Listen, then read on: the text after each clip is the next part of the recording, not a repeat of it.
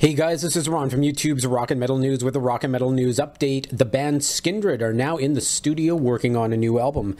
Stay tuned for updates, and you can check out their post on their Facebook page in the link in the description of this video. And the band Wet, W E T, which features vocalist Jeff Scott Soto, guitarist vocalist Erik Martensson, and guitarist Robert Säll, have released a new music video for their new track called Watch the Fire. The song is off their new album called Earthrage. It's going to be out on March 23rd through Frontiers Records SRL. Check out the video in the link in the description.